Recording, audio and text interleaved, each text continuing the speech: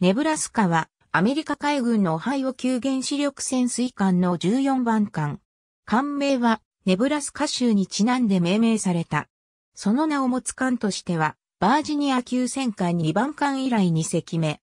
ネブラスカの建造は1987年5月26日に、コネチカット州クロトンのジェネラルダイナミクスエレクトリックボート社に発注され、1987年7月6日に寄港した。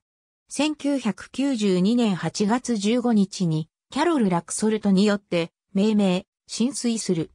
1993年6月18日に海軍に引き渡され、1993年7月10日に収益した。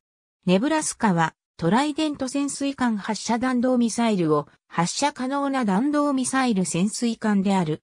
ビッグレッドの愛称で呼ばれ、ネブラスカ大学の愛称と同一である。ネブラスカは就役後ジョージア州、キングスベイの第10潜水艦部隊に配属されたが、2004年10月1日にワシントン州バンゴールへ転属した。本艦はダグラス・シー・ウォーラーによって Big Red、Three Months、on Board、a Trident Nuclear Submarine として詳述された。ディスカバリーチャンネルの厳選特集で密着取材を受けている。ありがとうございます。